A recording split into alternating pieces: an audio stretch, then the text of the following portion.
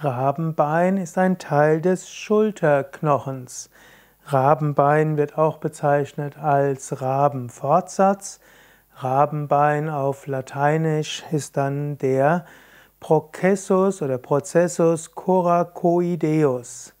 Das äh, Rabenbein ist also Teil des Schulterblattes, des Schulterknochens, aus dem Schulterknochen, der ja oben eine Pfanne bildet, in welcher dann der Oberarmknochen letztlich ruht oder beziehungsweise damit verbunden ist im Oberarm-Schultergelenk und dort gibt es einen Teilknochen, das ist das Rabenbein und das Rabenbein ist eben ein Knochen, an dem verschiedene kleineren Muskeln angesetzt sind, die für die Bewegung des Armes verantwortlich sind.